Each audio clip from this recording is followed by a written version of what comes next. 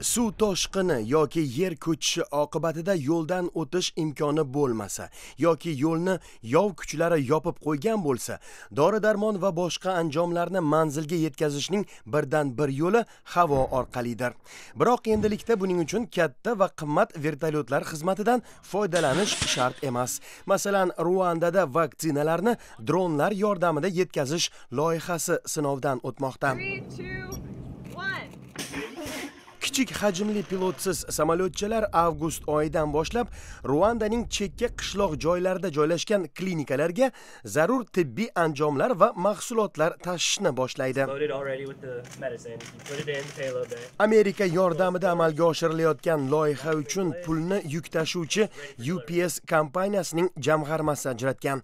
Dronlarni kaliforniya shtatida joylashgan zipline kompaniyasi. Vaksinalarni esa shu shtatdagi yana bir shirkat gavi alliance bermoqda We do believe that supply chain having an efficient ups jamg'armasi prezidenti eduardo martinesning aytishicha bemorlar hayotini saqlab qolish uchun tibbiy ta'minotda uzilish bo'lmasligi zarur va jamg'arma boshqa tashkilot va kompaniyalar bilan hamkorlikda xorij mamlakatlarida ta'minot tarmog'i oqsagan nuqtalarga yordam berishga ahd qildi dronlar 1,5 kilogramm yuk bilan 120 kilometrgacha ucha olishi mumkin. Ular yukni oldindan belgilangan manzilga yetkazganidan so'ng bazaga qaytadi. Loyihadan maqsad dorilarni pitsa kabi buyurtirishni osonlashtirish.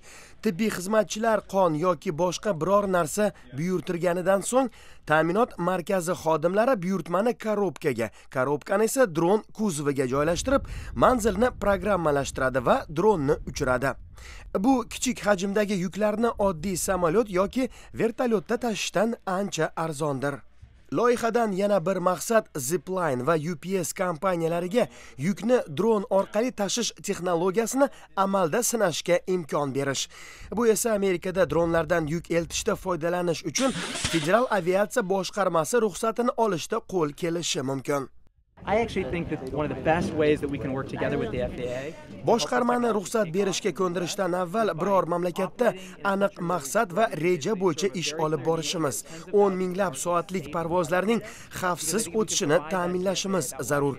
Agar buning uddasidan chiqa olsak va bu ma'lumotlarni boshqarmaga taqdim etsak jarayon tezlab bunday texnologiyani o'z mamlakatimizda qo'llasak bo'ladi deydi zipline rahbari keller rinodo ruanda hukumati bilan hamkorlikda amalga oshirilayotgan bu loyihaga ko'ra bir kunda 150 martagacha yuk yetkazsa bo'ladi. Odil ro'zaliyev washington.